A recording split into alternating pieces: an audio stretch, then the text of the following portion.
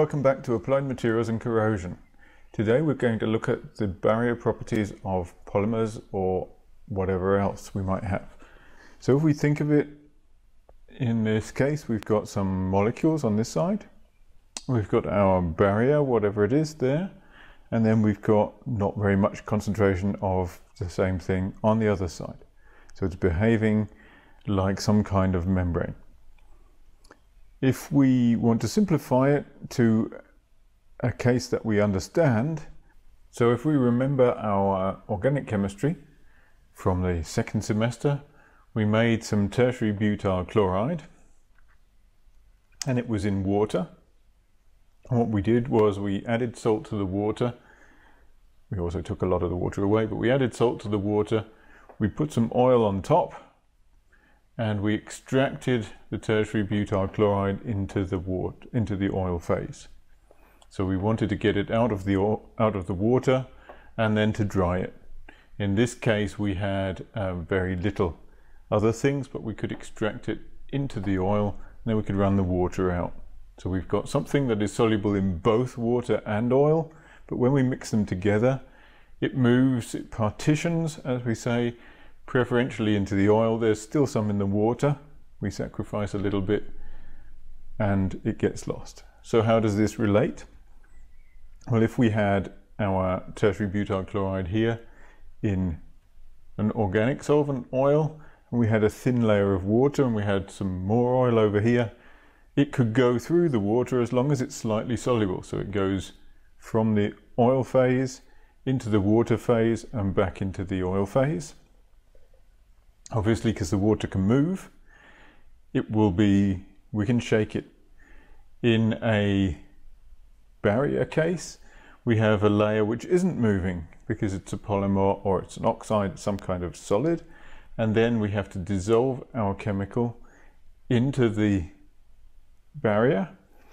It has to transfer through and then it comes back out again. So we have two processes where there is there would be an equilibrium if we waited long enough, but typically we don't. So we've got our chemical of interest going into the barrier. That's a dissolution process. And it's coming back out again, but it can also do the same thing on the other side. Um, let me draw it the same size, because who knows. So our molecule is going into the barrier and it's coming back out again on this side and it's going in and it's coming out again. So we need to define a few things. So you'll have heard of diffusion from somebody else. If we have diffusion through the solid, we can imagine there's a constant concentration here. There's a constant concentration here. It's coming in fast from this liquid or gas, whatever this is, and it's being taken away fast by this liquid or gas, whatever it is, and therefore we have a constant flow. J is the flux, that's a Fick's diffusion law, but in this case we've only got one dimension through it because it's so effectively infinite in this direction and in this direction. So that makes it simple. It's just related to the diffusion coefficient and the changing concentration. This is related to concentration and uh, per distance. So the higher concentration change over a smaller distance, the faster the diffusion, and the higher the concentration, uh, the higher the diffusion coefficient, the higher the diffusion. The higher the diffusion coefficient, the higher the diffusion. So if we consider the case of a polymer with water, for example, trying to diffuse through it, the solubility of water inside our polymer is very low. So although the concentration of water on one side is high, it can only dissolve into the polymer at a low concentration. So the concentration gradient across the polymer is comparatively small. That's the driving force for the diffusion through the polymer. That's why we can get away with a very thin layer of polymer and it will diffuse through very slowly. But note, if there is any solubility at all inside the polymer, it will get through. If there's any possibility of the material to get through, to dissolve into a solid, it will get through. So this will be the concentration of water in water.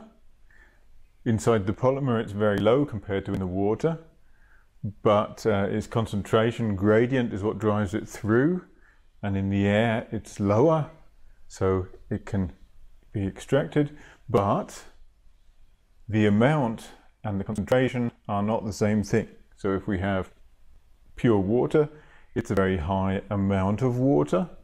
But if we have air at 100% humidity, although it's got a lot less water in it per unit volume, it is still saturated with water. It's still got as much water in as possible. It has the same water potential as liquid water. Air that's saturated with water is in equilibrium with water liquid. So although the amount is different, it's the saturation amount compared to the amount that's there that drives it. And in this case, there's very little inside our polymer, but that's because it is held down by the solubility, even though it's probably maximum here and it's, yeah, it's trying to escape here, so it's lower. We will be getting water through our polymer, but in this case, the rate is comparatively low. So we need to look at what D is because unless D is zero, we will get transfer of material from one side to the other. Unless D is zero, we will get transfer of material from one side to the other. So where are they hiding? Remembering our Gibbs free energy equation, the Gibbs free energy that tells us whether something will happen is dependent on the heat of interaction minus the temperature multiplied by the change in entropy. If we take this, for example, this is water that's organized and it's got a hole in it because the water is now organized in a bonded structure and it has a hole in it where something else can go in. In the other way round, our polymers are gain in entropy by being less crystalline. So we have crystalline domains, but between them we have non-crystalline regions and they are moving slightly, they're more random. And because they're more random, they don't fit properly, so there are spaces in between where things can go. If we add another molecule to it, it can squeeze in between the polymer chains and change the structure. So if we take something like polypropylene and we take toluene. It's not soluble in the toluene, but toluene molecules go in between the polymer chains and cause it to swell. And we can measure that. It gets heavier, but it also gets bigger. The toluene gets in between the chains and allows them to vibrate slightly, which gives them a bit more freedom of movement, which means it's allowable, particularly at higher temperatures and then we get more out. In water, it's possibly the other way round, that at low temperatures, where the bonding dominates, we can bond into a cage structure and leave a hole for other molecules to get in. That's what happens under the sea where natural gas is stored in this structure of water, not obviously that exact one, I just made that up, but it's stored in cages of water, but only at low temperature. Because at high temperature, breaking the order is going to dominate. So we can have two possible mechanisms. One is formation of order that generates a hole, and one is formation of disorder that generates a hole. But in both cases, we've got space for a foreign molecule to get in between. It will either interact or it won't. So a toluene molecule, for example, will interact with the polymer, so we get a little bit of energy out. A gas molecule will not interact with water as well, but there are no hydrogen bonds pointing into a hole, so it doesn't cost very much to put it in there. To a hole, so it doesn't cost very much to put it in there. To put it in there. Likewise, in an idealized crystal structure of a semiconductor or an insulator, metal oxide, for example, it is thermodynamically advantageous at high temperature to have an error in here because it's not so ordered. So it is thermodynamically advantageous to put an interstitial in here or to have a missing oxygen atom and the number of them are determined by the Gibbs free energy equation. We can calculate exactly how many we would expect at any given temperature. As we increase the temperature, the number of them increases. So if we take, for example, a metal with an oxide layer on the surface that is trying to oxidize, the metal ions can diffuse through our oxide layer as extra atoms or the oxygen can diffuse through in the other direction which is the dominant mechanism determines whether it grows on the outside out or the inside in. So some metals like zirconium for example, if we take a bar of zirconium and we oxidize it, we discover at the end that there is a cavity in the middle because the metal predominantly moves outwards. If we take other materials, the, the oxygen predominantly moves inwards and so that we don't get that.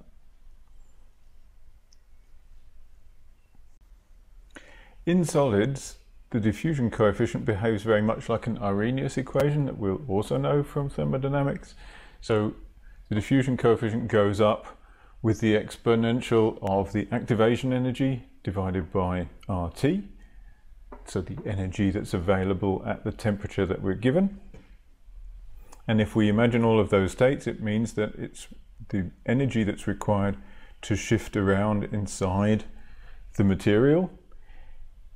You may be familiar with diffusion in liquids, in which case the viscosity of the liquid is what's causing this resistance. But in a solid, it's got to actually break a bond and move, and so that gives us an activation energy that requires it to have to jump to the next site and obviously it will do it, but the amount of times per unit time that it does it is dependent on the ratio between the temperature and the activation energy to move. So this is the common in semiconductors, in oxides. It's also common in polymers that as we heat it up, the rate of diffusion will go up exponentially and that will allow us to get more through our material if we want to, or if we don't want to, it will still cause more, more stuff to diffuse through our material. The two handles that we have the diffusion coefficient inside it, or the activation energy inside, and the solubility constant. So the less soluble the gas or liquid or solute is in our barrier, the lower our concentration gradient can be and the lower the or the higher the activation energy the slower the diffusion is and so we have two factors in there. From Fick's diffusion equation they're both in there and they will cause it to be changeable. You may be familiar with this effect from other things but let's look at it here. If we've got a polymer and parts of it are crystalline and parts of it are non-crystalline, the for an atom, in this case water or oxygen, typically are what we want to avoid going through our polymer, they will be able to travel either through the grains or through the grain boundaries. In the grains we have in a polymer typically crystalline material. Inside the boundaries there's less crystalline material so there's more space for things to get through.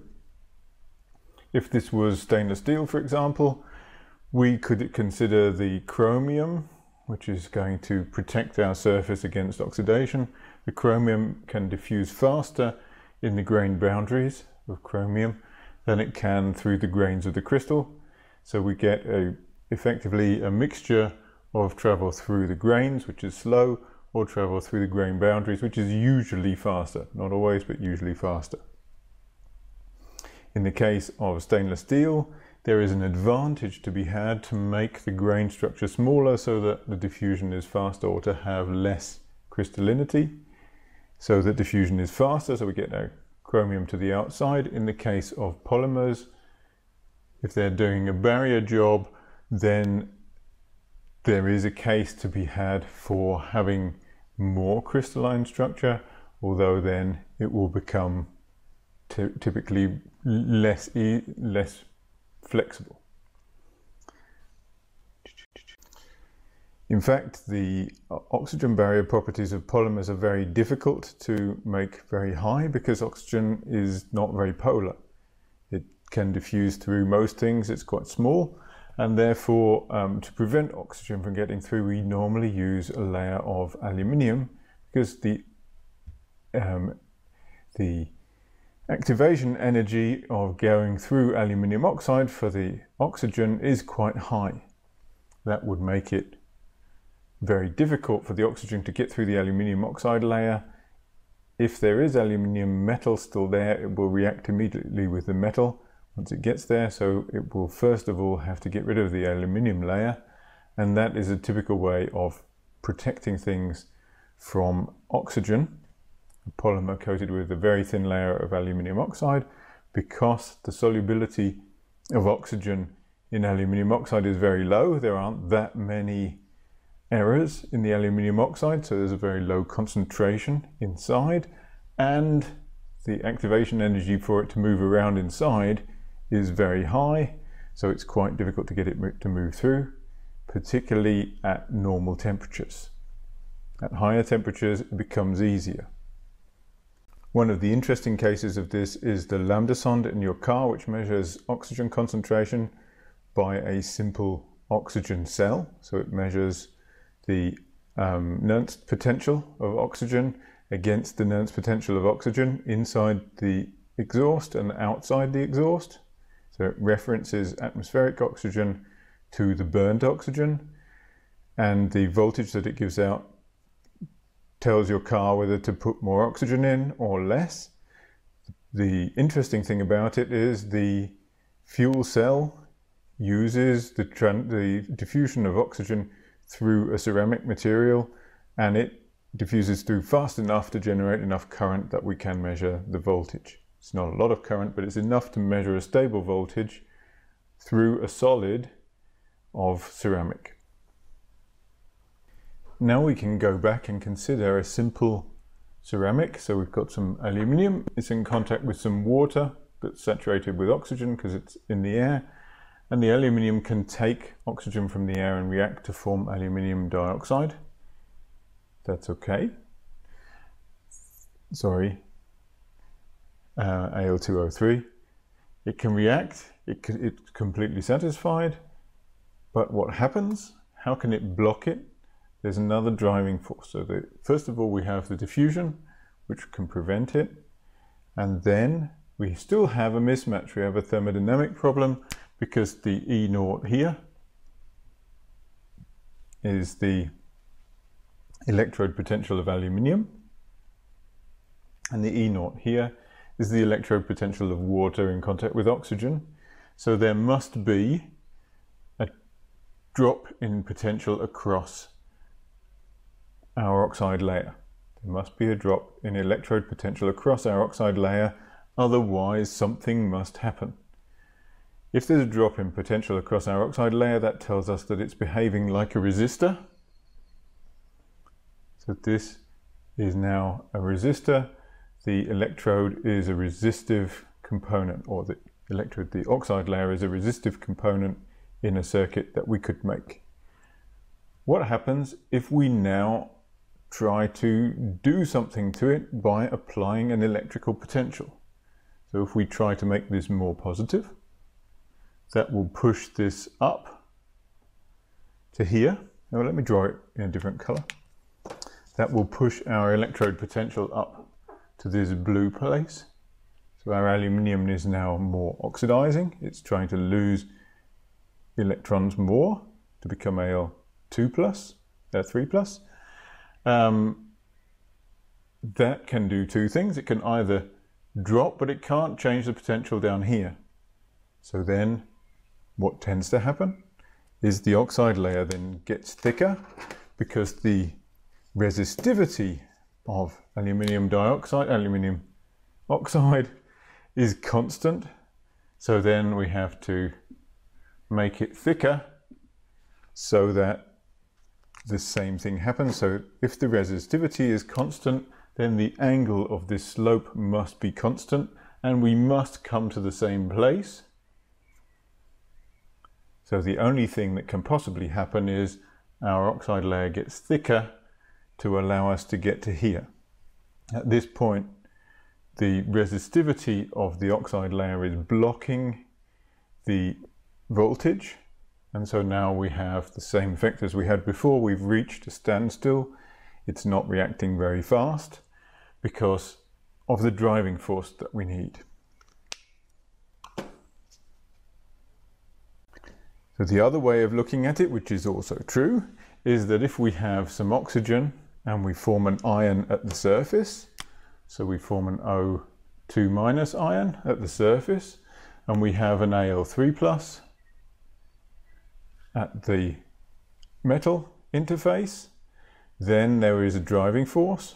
The electrical potential is now driving them towards each other and that is the driving force pushing them through the oxide layer against the barrier properties of the oxide layer.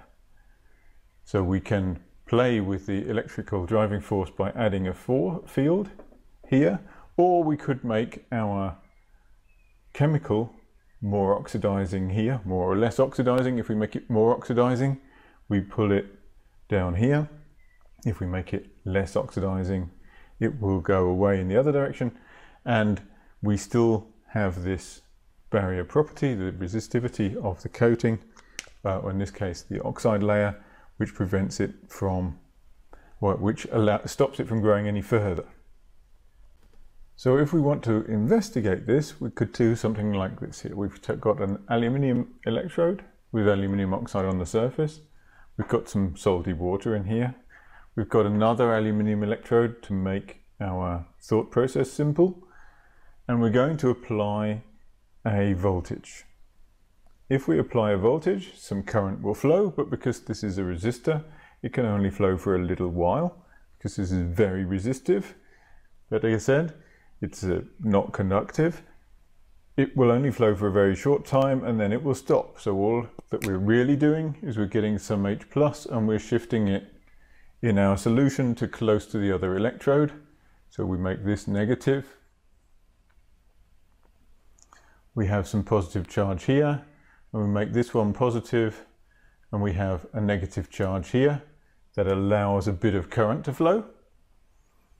Then the current will stop flowing as long as we don't apply too much voltage. Then we switch it because we've got AC. It goes the other way. So our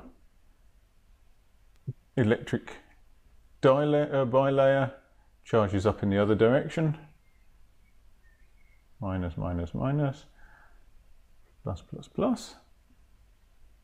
And so we've got effectively a capacitor that we're charging up and discharging, and it is has a certain size that's dependent on the area of the electrode and the thickness of this oxide layer. If we change the frequency, so we go down to very low frequency, then we will find not very much current flows because at DC, for example, it charges up and then it stops. So what we would expect to see is a characteristic frequency at which current starts to flow, which is dependent on how thick this oxide layer is, how resistant it is. So we can look at these layers with a thing called electrochemical impedance spectroscopy. The spectroscopy is because we're changing the frequency of the AC that we're looking at it with. And we can use that to calculate the value of, effectively, we've got a capacitor and a resistor in series which are behaving like our uh, components in here. So this is behaving like a capacitor, these two together, and the movement of the ions in the solution is behaving like a resistor. So we can find out what the values of these components are by varying the frequency. We could vary the voltage, but we can't vary it very much because we will cause some electrochemistry to happen. This is a method that we can use to investigate such systems. If we push it too hard, we will cause the layer to grow or shrink. But if we push it only a little bit, we can measure the value of these components to try to find out a little bit more about what's going on. So that'll be enough for, for, for today.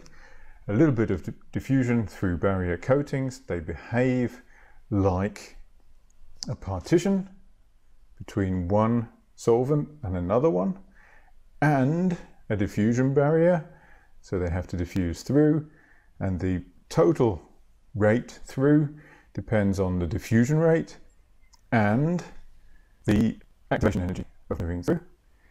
If we wait forever, they, most things will go through. If we wait forever, things go through almost everything. So if we have a paint coating on a car and we look at the interface between the car and the paint, between the metal and the paint, we will discover that there is there are water molecules, there are oxygen molecules.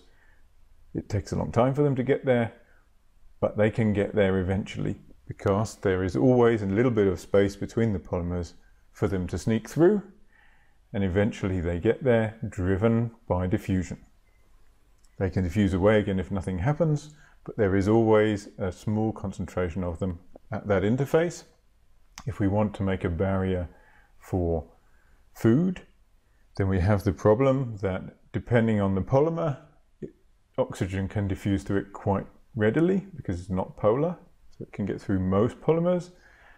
Um, other gases sometimes struggle. So oxygen is a medium-sized molecule. It can get through most things. It is quite difficult to prevent oxygen from getting through completely with uh, organic components, although some are better than others. Um, and the best way to prevent it more is to coat it with an inorganic material because the activation energy of movement through it, so the diffusion coefficient, is much more hindrant to the oxygen getting through. Okay, that'll do for one day. Goodbye. Sorry about the one eye. Sorry about the one eye.